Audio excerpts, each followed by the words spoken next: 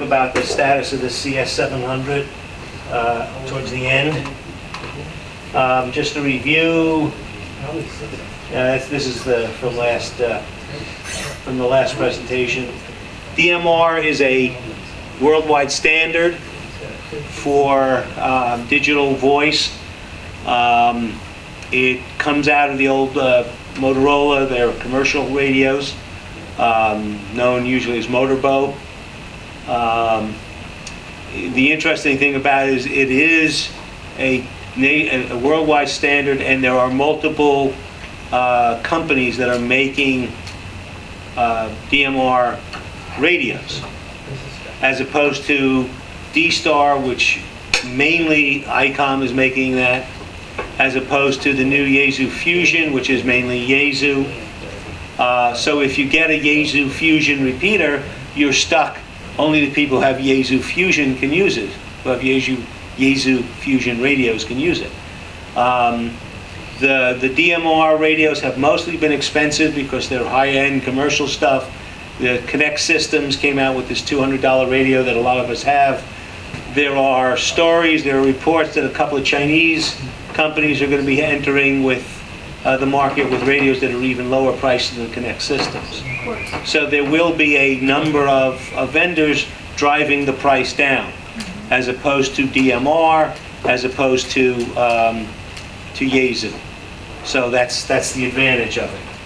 There are actually some other advantages to it over both Fusion and D-Star in that it uses uh, time division multiplexing, which means you can have two stations operating on each repeater, uh, and it's got better fidelity than either D-Star or Fusion, so it's very interesting that way.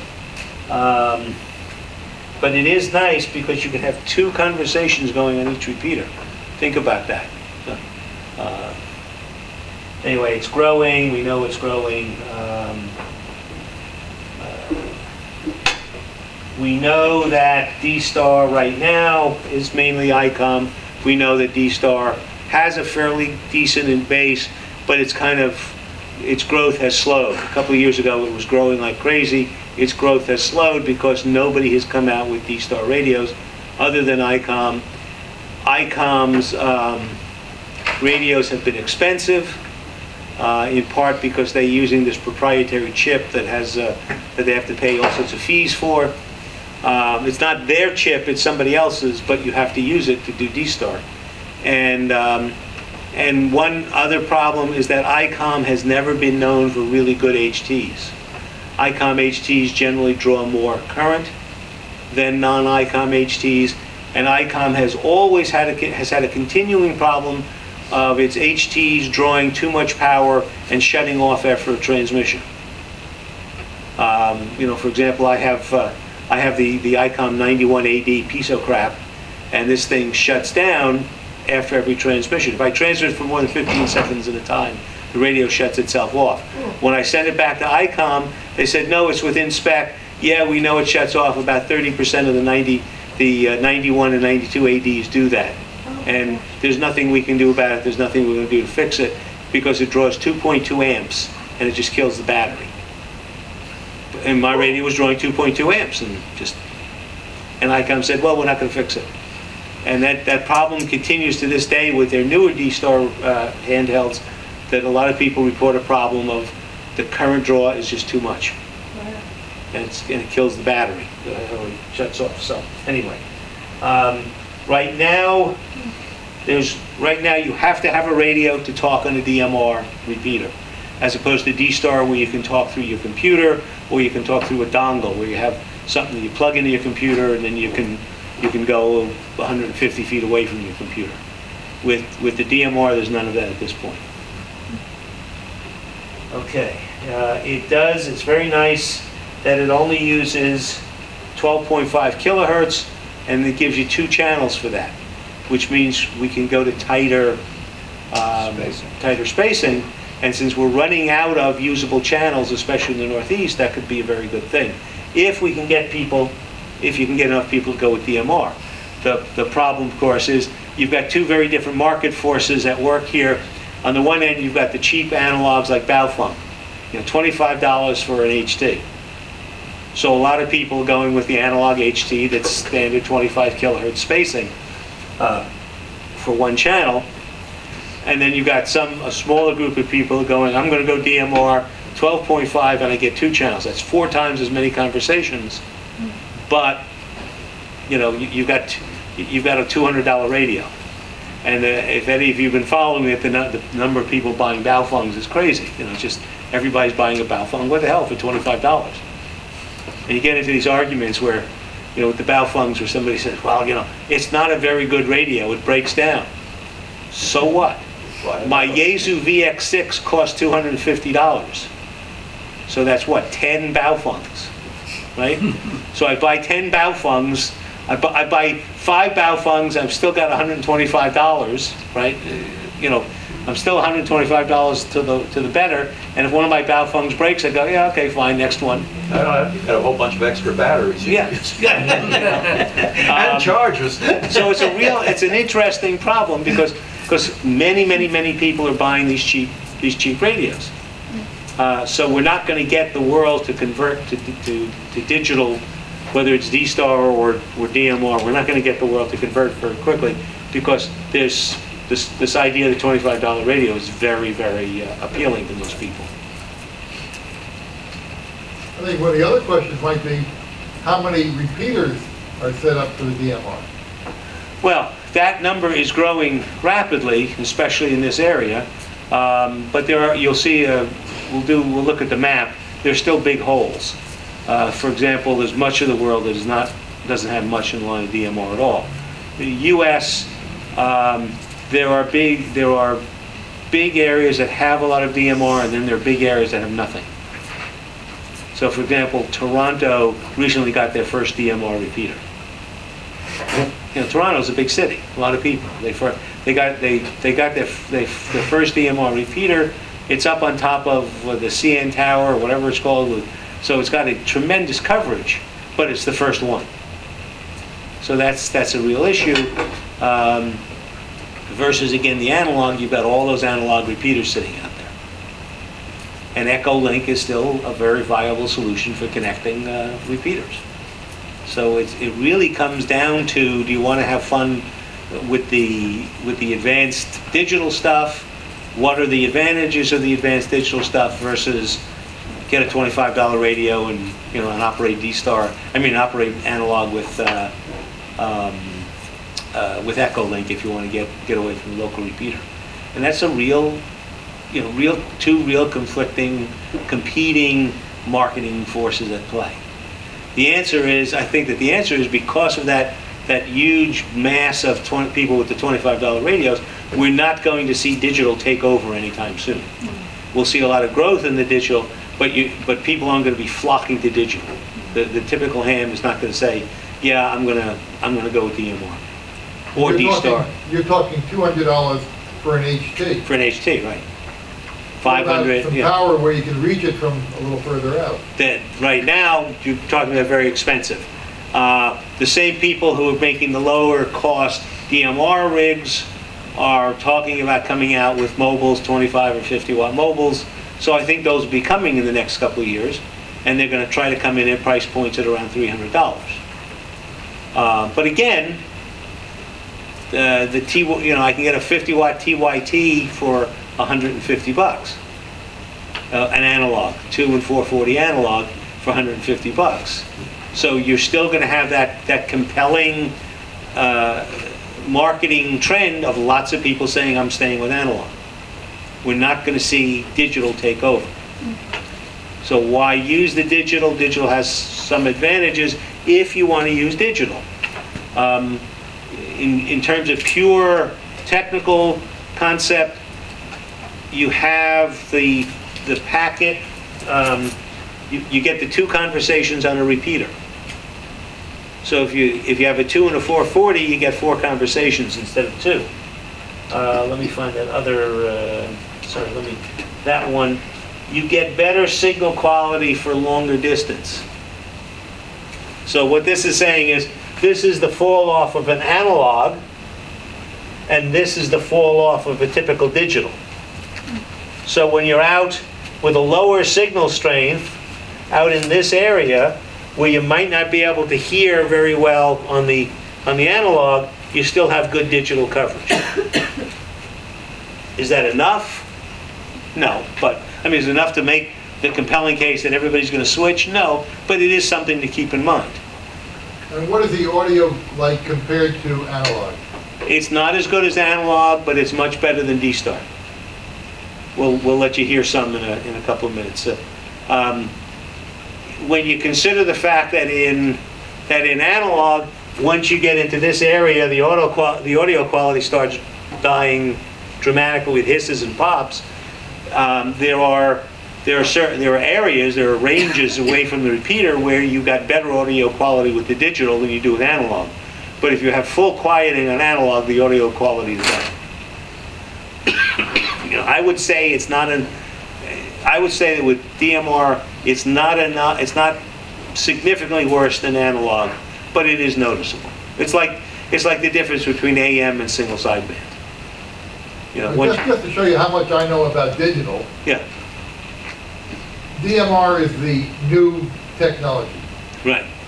What do they have in the works coming up after that, and will that be compatible with it? There's nothing that I know of offhand, other than people who are saying, well, why don't we just repurpose the old police P25s, APCO P25s, which is the digital standard for most police and public service. Those radios are, have been pretty expensive. Nobody has been making a big move to, to change that at all. So nobody's been making a big move to go to those things.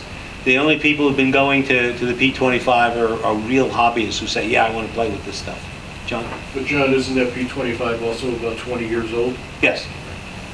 Yeah, there's, there's They've nothing, Come out with a new modulation system for it, which is so quick, you can't even read the, uh, the RF signal on it. Even, even the, uh, when they go to service them, they had to put digital receivers in the technical, the, uh, equipment to read it, because you can't hear it. I- I'm not following you. The, the, the modulation, the new, the P twenty-five with the new, uh, MP, I forget what the digital, Yeah. what the modulation system is. But it's a new modulation system that Motorola came out with that is so fast, you, it, you don't get an RF signal out of it. The RF is there, but it's so fast that you cannot read it with a standard uh, receiver. Yes, I- I've read about that, yes. I know And, what you're talking about. and they, even the test equipment, Yeah, they, they can't read it on the test equipment. They have to put a digital receiver in on the test equipment in order just to see the signal. On the computer. On the- Yeah. okay, but what's the likelihood that that's gonna come down to the ham radio world? Well, anytime everything soon? else has come down. John, one of the other points to consider, uh, too, for discussion's sake, is the cost of the repeaters. When you're looking at Fusion Yeah, P25 DMR, the cost of the repeater is much lower, even though Yaesu's trying to buy their way in by reducing the cost. the, the, the DMR repeaters are about eighteen hundred dollars. Right now, Yaesu's doing deals on the, on the Fusion repeaters for as low as five hundred dollars. Uh, but that's, but, but their list price is up around three thousand, I think, or thirty, thirty-five hundred. The ICOM, ICOM was selling the D-Star repeaters for a while at the five hundred thousand dollar range, but they're now selling at three thousand, thirty-five hundred. So the DMR repeaters are less expensive. Um, You know, I, I don't know, I don't, I don't see that P25 is gonna enter the, the ham radio world for a while because it's still too expensive. Do you see them all getting together on one particular system rather Me, than? I'm not a, I, I mean, you're, you're asking the wrong guy, I'm, you know, I don't know enough about it, but no, I don't. Look, look at it, they've had years to get together on one system and they haven't. Uh, D-Star got a, a decent traction in the marketplace and Yaesu never turned around and said, okay, yeah, we're gonna support D-Star. Despite the fact that D-Star was very popular, they came out with their own. Yaesu did not, Yaesu had the opportunity to say, you know what, this DMR is taking off, let's, let's come out with Yaesu, you know, with DMR. Instead, they came out with their own, this Fusion. So it doesn't look like the vendors are gonna do that. It's, it's, it's, it's the equivalent in automobile terms of, of car manufacturers all requiring that you use their own gasoline. You know, you can't use each other's gasoline, you can't use Right. standard spark plugs. Um, I- don't get it. I, I don't see how they think they're gonna make money. I don't, but then again, I, you know, I I read some of the, some of the um, ham radio communication boards and people talking about, yeah, we're going to get a fusion repeater. Well, how many, you know, how many users have fusion radios? Not, well, not many, okay. I I don't get it. I don't understand why the vendors think that they're, that they're gonna get enough traction, get enough business in any one proprietary system to really make it worthwhile. And that's what's got me confused. I mean, I'm young enough that I remember CW and AM. Right. And then when silly sideband came out, nobody's gonna use that, but everybody went into the same system. Right. Now with the digital, I'm totally confused, and I don't know if I wanna go to one or the other, because will it be there tomorrow? Well, there's. Again, I know very little about the digital equipment. Si- Single sideband is, it's a technology, there, there aren't different ways of doing it. You can only say, all right, I'm gonna, I'm gonna use the upper sideband, and I'm gonna use the lower sideband, but it's not as if you have different ways of, of generating that sideband that, that are incompatible with each other. Here, they've got the modulation, um, actually technically it's not the, well, technically it is the modulation, come to think of it. They- They've, they've got the, the encoding and the modulation is different, so the radios are not compatible with each other. I don't know which is gonna win. D-Star took off for a while, it was a big deal, and then everybody started really getting used to it and saying, you know, this isn't very good. I mean, it's, it's, it's sort of, it's, um, it, it's, it, it's kind of stalled. It's stalled at a certain level of growth. Part of the reason why it's stalled is because the radios are expensive.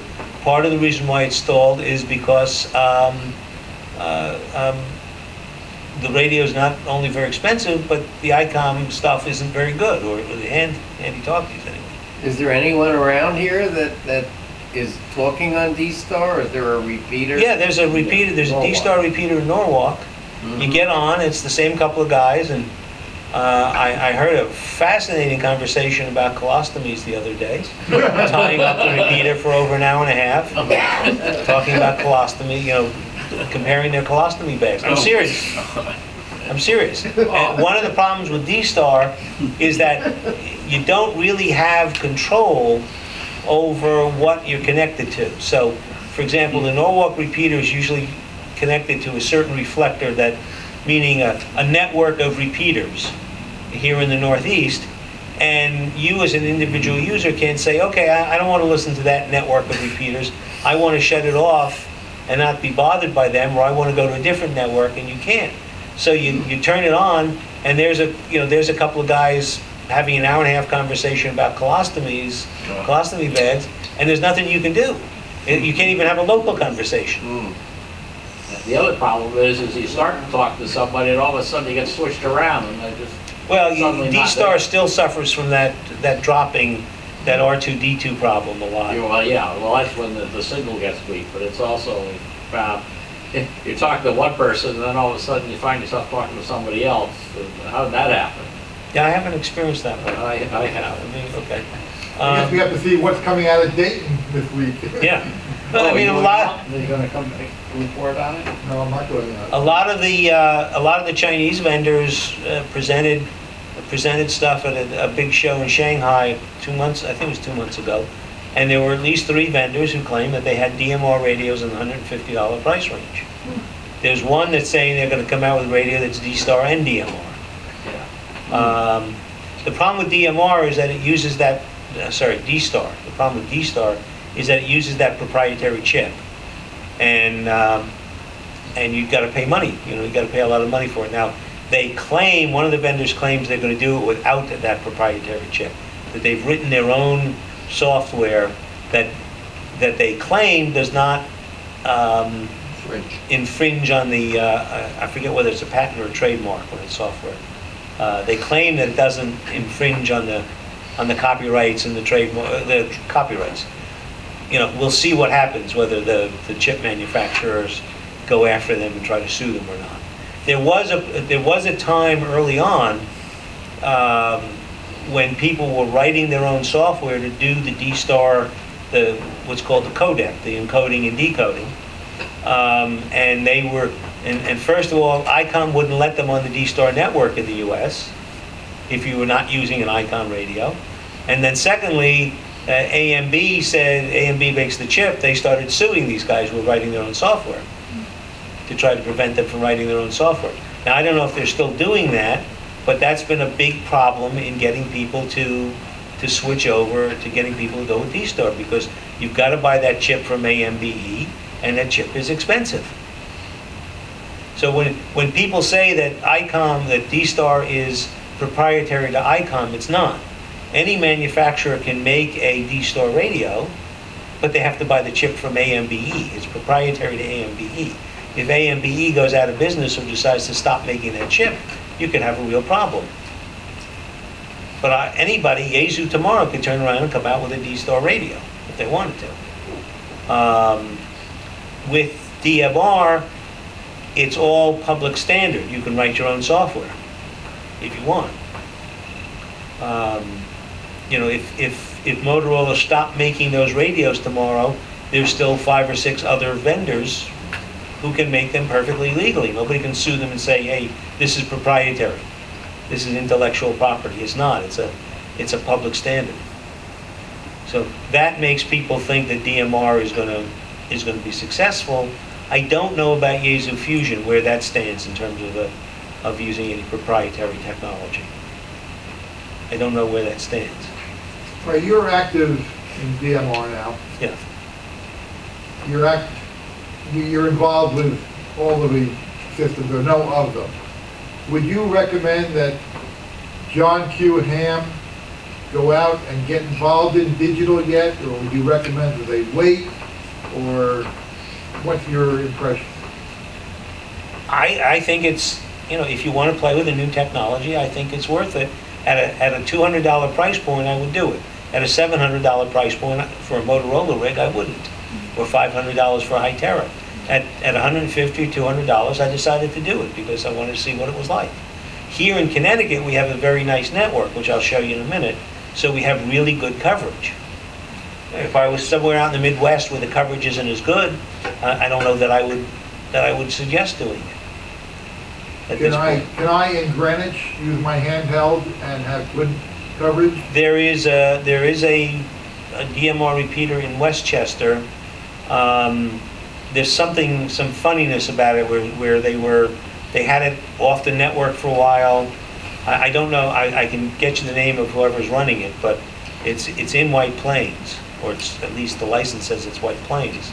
Uh, and you would get good, uh, good coverage from it. John? Um, you, I have my, my, um, DMR hooked up to my, uh, uh, tri-band, uh, pole on my garage roof, so, yeah, I can work it through that, but with the, with the whip, I didn't, Yeah, not, not from. Old Greenwich, right. yeah. What, what are you talking to, the Stamford repeater or the? Um, to- yeah, well, to any, I guess to the Stamford repeater, because that's what you programmed Yeah. me for. Yeah. And so, yeah, I can get there, no problem with, with my external antenna, but not with, not with the, the. No, not with the, no, not with the whip. I mean, not with just the, not with Not just the with rubber that, ducky, yeah, yeah. right. Yeah, and I, I mean, I can hit the Stamford repeater from my house, but normally when I'm in the house, I have, I have that connected up to my Comet or whatever I have on the house. Yes. Diamond or whatever, Comet. because it's, you know, that, that way I can hit other repeaters. Um, I don't, I just don't know about the status of the Westchester repeater, the White Plains repeater offhand. No, I'm asking about Greenwich. uh, you know. No, there's nothing in Greenwich at this point. Now, with an analog with a uh, rubber duck, I can hit the repeater here. Mm, I can't, I still, either way, I've gotta go through that. If you can hit the To my repeater garage. here, antenna. the analog repeater with a, with a, with a rubber ducky, then you should be able to hit the, uh, the DMR repeater from where you are. I didn't realize that you could hit, Well, hit I'm, the stand. I mean, I've been around Greenwich and, and hit it. Yeah. I, I, I ran some tests on the DMR repeater. Uh, I lost the signal around exit, between exit three and four on I-95. I lost it between exits 30 and 29 on the, on the Merritt. Now, there are spots in Greenwich, there are spots in, for example, uh, Westchester County Airport, I can hit the DMR repeater just fine. But when I'm on the Merritt, um, I can't hit it until I hit about exit 30.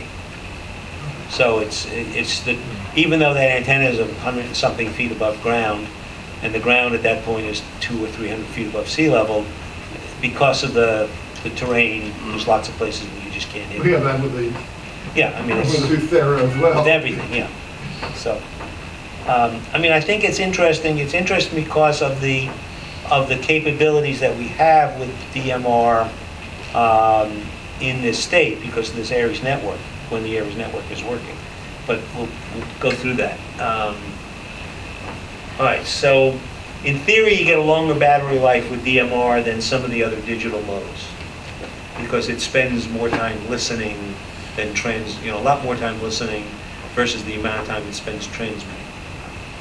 Uh, So looking at this, this is the Connecticut DMR, well, this is, this, is- these are all the DMR repeaters in Connecticut at the moment. Okay, some of them are ARES, some of them aren't. But that's a lot of repeaters. You have pretty good coverage, except maybe, you know, right up in this area.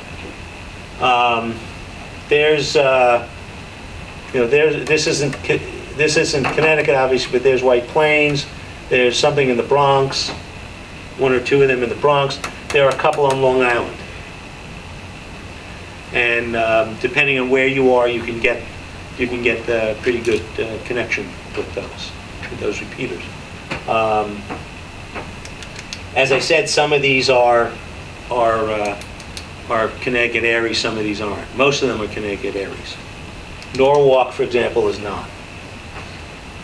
Um, I mean, basically, the ones, the ones with the black circle are Connecticut ARES. The ones, the empty ones like this, the Norwalk are, like this Norwalk are, are not ARES. Most of the Connecticut ARES, well, let me go to the slide. Th- These are all the Connecticut ARES DMR repeaters. One of the nice things about them is that they are most of them are connected up through what's known in Connecticut as the State Police Microwave Network. It's actually a state microwave network. It's used for Department of Transportation, State Police, mm-hmm. a bunch of other services.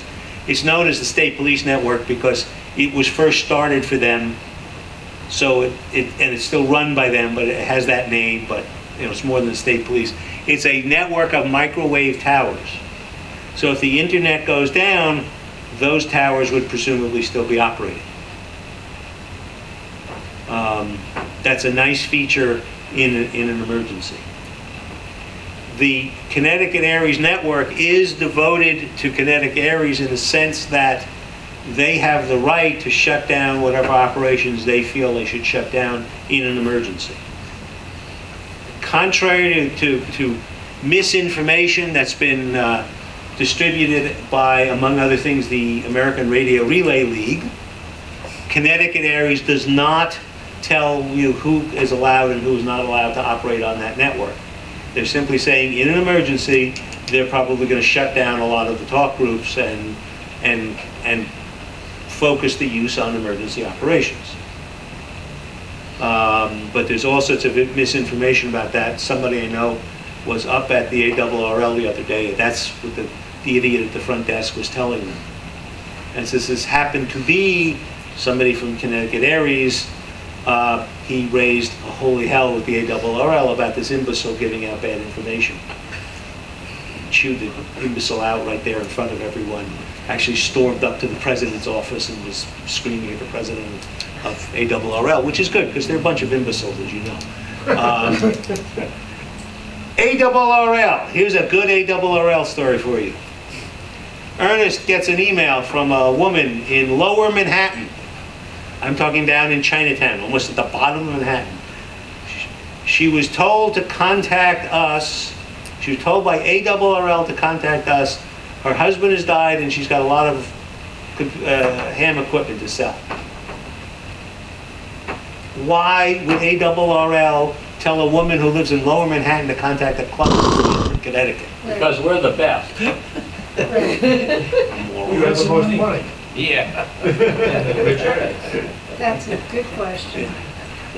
Can I just clarify something? Um, You said that the, the microwave backbone uh, will function when everything else goes down, but that's because microwave towers are all independently powered by uh, backup power, right? Right.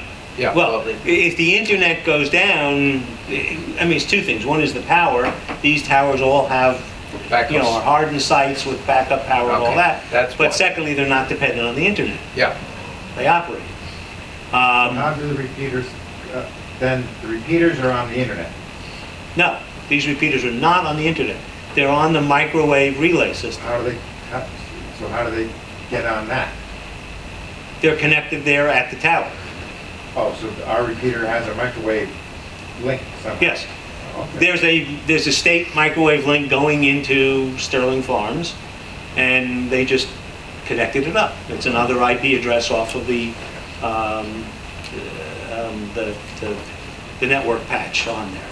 So, um, it's very nice. Now, one thing you always have to worry about is if there's a big enough emergency that they really need to use ham radio for emergency communications, what are the chances that the state's going to say, you know, our microwave backbone is overloaded because we've got state, you know, transport and mm-hmm. state police and, and all this other stuff using our system.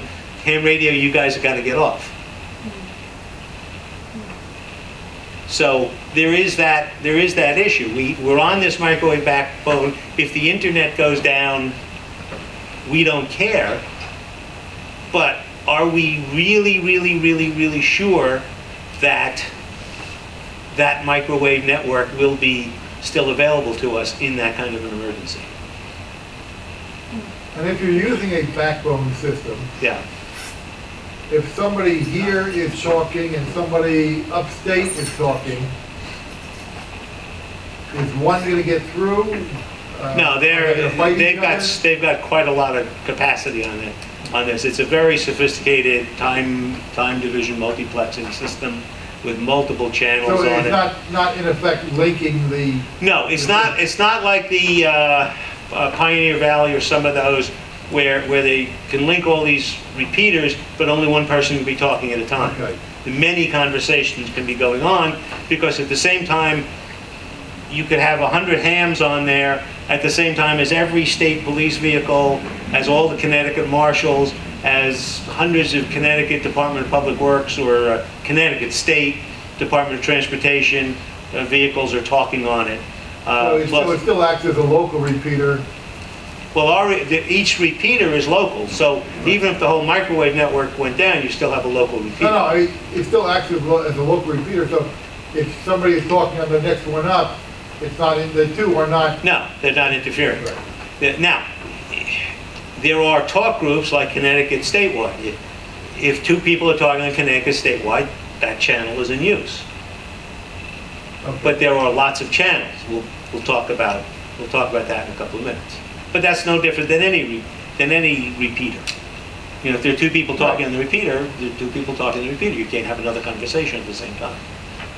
Um, Well, on a, on a DMR repeater, you can have two conversations going at the same time, independent conversations. All right, so that's, that's the connect, the ARES network. Most of them are on that digital, are, are on that microwave backbone. A few of them are on the internet.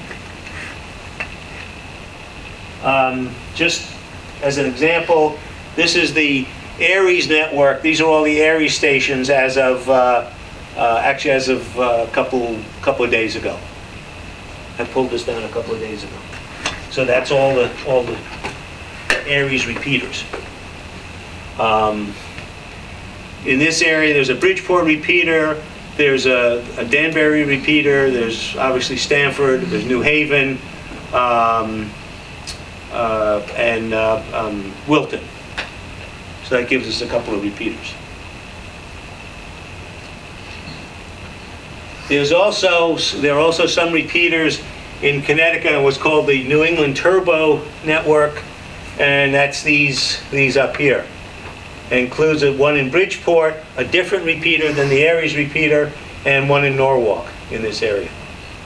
So that's, There's a lot of, there's a lot of DMR repeaters right now in Connecticut. Connecticut's gone big for DMR repeaters. Are there a lot of users of the repeater? There are. You can, you can get a conversation most any time. A lot of people who, uh, you know, a lot, a lot of people bought the $200 Connect systems. There's also a fair number of people who have gone with the the Motorola and stuff like that. Um, All right, so DMR, th- this is a, a concept that a lot of people have problem with. DMR operates on talk groups. Think of a talk group as a big cable. Each talk group is a separate cable that runs around the world. And a network operator can plug into any one of those cables, into any number of those cables they want to plug into. So for example, there's this cable called Worldwide. And it's intended for people who want to talk worldwide. Okay? There's a cable called Connecticut Statewide. Anybody who wants to can plug into it. Now, obviously, very few people outside of Connecticut plug into Connecticut Statewide. You know, there isn't a lot of demand to talk in Connecticut Statewide from Oregon or, or from London. Well, You could if you wanted to. So think of it as a bunch of cables. And each network can decide to plug into as many of these cables as it wants to plug into. Typically, everybody plugs into worldwide. Uh, Most, most of them in English-speaking countries plug into worldwide English. Most of them in North America plug into the North America cable. There's a Northeast, there's a New England, Southern New England, Connecticut statewide. Um, In general, the Connecticut ARES repeaters are on the, use, make Connecticut statewide available. The New England Turbo repeaters make New England and Southern New England available. I'm sorry, make Northeast available. I, I said that wrong. Make Northeast available. No, I was right the first time. The, the turbos make uh, New England and Southern New England available. Both of them make Northeast available. If you go to the Norwalk repeater, you're not going to find Connecticut statewide because that's Connecticut ARES. There's no reason why they can't, they just haven't. For a while, there was an issue, the, the person who was putting together the, the New England Turbo network got pissed because ARES wanted to build its own network and didn't just want to go on his network. And he said, I'm not letting you guys on, on uh, New England and Southern New England. And ARES said, okay, well, fine, you can't have Connecticut statewide, but uh, that's been smoothed over. So we, we'll start seeing more um, uh, cross-fertilization of those talk groups. Now, are these separate channels on the radio where you turn the dial from one to the Yes. other? Each is a separate setting on the radio. So when you go to a, when you go on, on Stamford, for example, you could be on statewide and talk on statewide. You can be on Northeast and talk on Northeast. You can be on worldwide English and talk on worldwide English. Um, You know, you Depending on how you set your radio? depending on what, you know, which, which thing you dial to. Okay. all right? There are some restrictions in terms of, remember, there are two channels. So typically, Northeast will typically be on channel one. Local stuff like Connecticut statewide will typically be on channel two. That's just kind of a standard that people have adopted. Local stuff like New England and Southern New England will typically be on channel two. Worldwide will be on channel one. But if you set it up and you're set up, you would have access to worldwide English on any of these, on any of these repeaters, as long as the network operator decided to provide that access. So the repeater can only handle two conversations, but it can split it, send one to one network and one to the other? Yeah, yes. Yes, that's, that's right, because, um, well, for example, you know, worldwide English is, is a common one that's found around the world. Um. So it goes out through whatever routing it goes through to get to the, to the big cable, it goes, it stretches around the world. It's not really a cable, it's all, you know, it's all internet, but, See, I, I'm confused, all right? How could, if you're going to a, a, a DMR, um, eh, what would you call it, um, antenna, yeah, a repeater. repeater? It's saying, let- let's say you plug into, um, into this Stamford repeater, okay, Stamford group, and on there you have all these choices. Right. So the choices are worldwide or North America. Are you saying that, I have such a hard time understanding this, that if you go to worldwide, you're talking worldwide. Mm -hmm. If you go to North America, you're just talking into North America. How, do- right? Yeah. Okay, if you go to Northeast, it's just Northeast. Right. How does it, how does it do that? I mean, Well, again, to- think of it as, as a bunch of, think of it as a bunch of different cables, okay, running around the world. Yeah. I'm the repeater operator, I say, I want to, or I'm the network operator, I'm Connecticut ARES, I want to plug into the worldwide cable, and lots of people around the world plug into the worldwide cable. I also say, I'm going to plug into the North America cable. So, And people, people in, the- in North America plug into the North America cable. so you're giving, by, by programming this to what you want, you're telling the repeater exactly the area that you want to target. Yes. Wh- When, now remember, it's not the radio that's targeting it. It's the repeater. It, no, well, no, it's, it's the connection coming out of the repeater. So a repeater is still a repeater. Let me make sure I'm using dry erase here, so. Yeah, okay. Can you, can somebody get the, hit the light for a minute? John? Yeah. I hate, I hate to interrupt you. The young lady outside wants to know if she can come in and clean up. Um, I guess, is she- as long as she's not gonna vacuum. Just wants to empty the garbage. Yeah, oh, yeah, yeah, yeah, fine. No, it's fine, okay.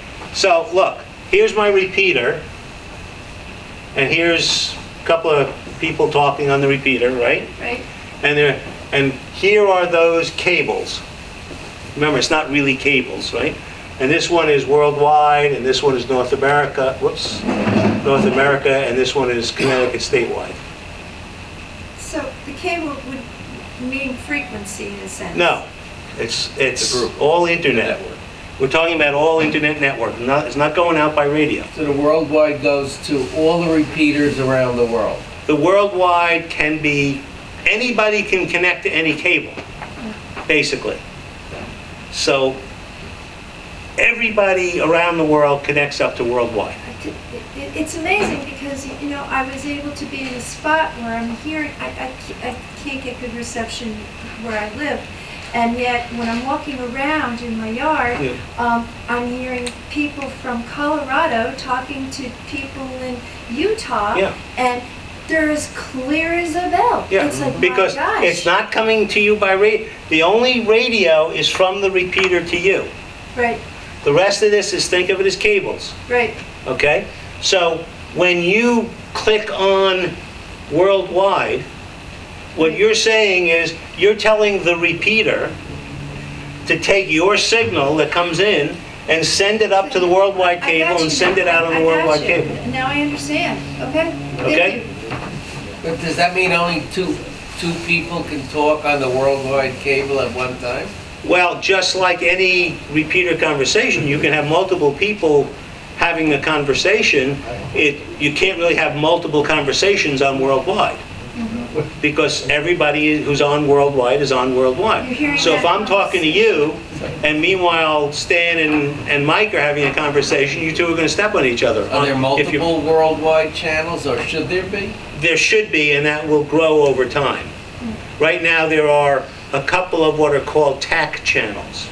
The idea being, you go up to worldwide, and you meet on worldwide, and you say, hey, let's have a conversation, we'll go to TAC 310.